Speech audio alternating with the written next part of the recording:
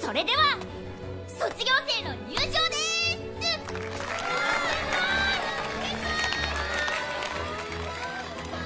す。すごく久しぶりに感じるね。何週間か来なかっただけなのにね。かわいい先輩早っ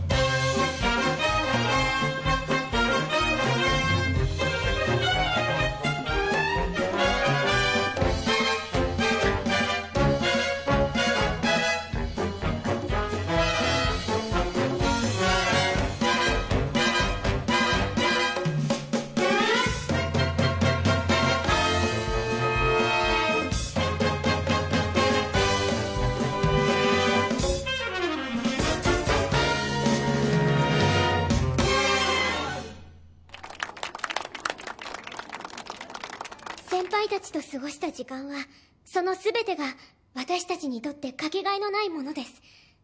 それを後輩にも伝え北宇治吹奏楽部を作っていきたいと思います。